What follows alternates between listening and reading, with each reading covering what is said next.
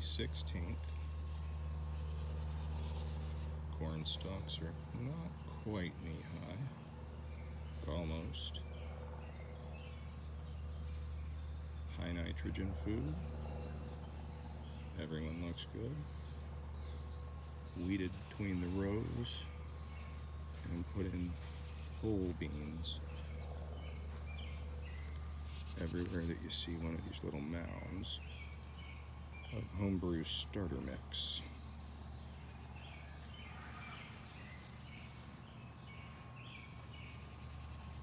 If it takes up to two weeks to get starts on the beans, that gives two weeks additional growth on the corn stalks for the beans to vine onto. And then, if all that works, we're going to plant squash.